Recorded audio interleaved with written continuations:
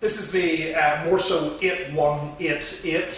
Um, this is the, the, the largest in Morso's uh, convector stoves. Uh, similar to the, the, the 6 series uh, and the 7 series in, in, in the Morso convectors, the 8 series, the 8188 uh, here, it's a solid cast iron stove uh, a lot of other convector stoves are, are just steel stoves with cast iron doors, cast iron lids. This is a full cast iron body. Uh, the sides, the doors, the top, every part of it is made from cast iron.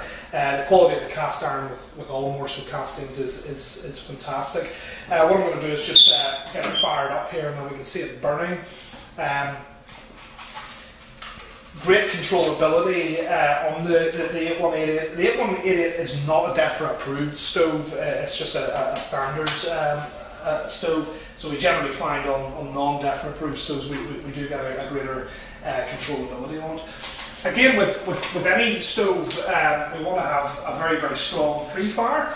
So I have a fire lighter just down here. Um, lots of dry kindling.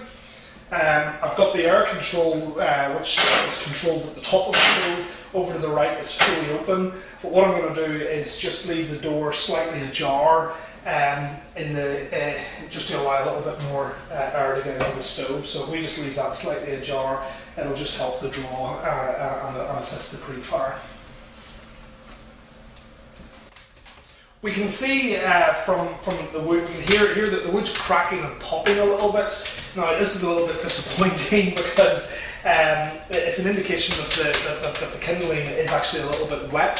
Uh, certainly in the field it, it was fine and, and, it was sold to us as dry kindling, but you do get this. Um, uh, you know, you, you can get Morso do moisture meters which you can inject into the wood, um, which shows you the moisture rating. I didn't check this wood. Um, that cracking and, and, popping is a sign that, that, that, that, there is moisture within the wood. Um, I think our, our pre-fire is, is, is probably okay here, so what I'm going to just do is, is, is, just close the door here and just let the stove take care of itself. As I say, my, my uh, air is open full here. We can see immediately when we close the door, the fire does die down. Uh, and again, this is because we're now just relying on the preheated secondary and preheated tertiary air, which is top air coming from the stove. So uh, we should have a, a, good enough fire there established for, for it to take over. Okay, so uh, the, the pre-fire has burned down. We've got a couple of nice colds here, so we're now ready to uh, put our first refuel in. Um, so I'm just going to open the door and just have to do this quite slowly just to make sure that no ash uh, comes out. Uh, again, opening the door, we can change the pressure slightly of the stove. So we just uh, generally just open and hold it for a few seconds before opening it. Um, I don't want, I want to do this reasonably quickly, uh, so our, our chamber doesn't burn down, uh, doesn't cool down uh, quickly. We don't want to burn a stove with the door open. We want to always burn it with the, uh, the door closed. I'm going to put uh, the, the, the, fire chamber is very very hot here. Uh, I'm going to put a few pieces of, of wood in, um, just to keep going. That should be fine there. Just, just close that off. In my, my secondary air control, my, uh, my top air control secondary and tertiary is open full here. We want to keep this open full until we've really got a very good bed established. That's whenever we can start thinking about closing and closing it down slightly. So we'll see here very quickly, we can see the, the, the first uh, refuel starting to catch uh, from, from the, the cold. So we'll, we'll watch this for, for a few minutes and just watch it taking off.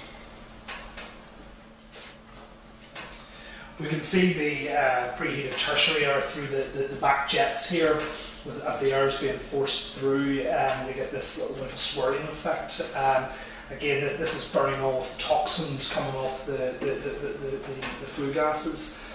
The difference between smoke and, uh, and, and flame is temperature.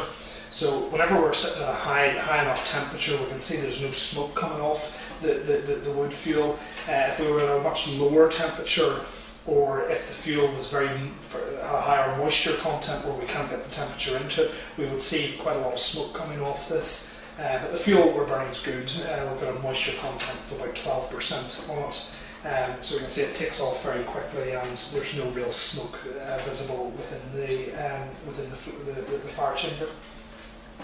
Okay, so the Morso has been lit um, about 25 minutes now, so our, our first refuel is uh, has carbonated and it's starting to look very, very nice. What I'm going to do is just turn down the control here, the air control on the Morso. Um, just turn this down. We don't need to be burning just quite at the at the, the, the rate that we are. So you can see immediately when you turn it down, the the, the, the flames start to, to, to, to calm down.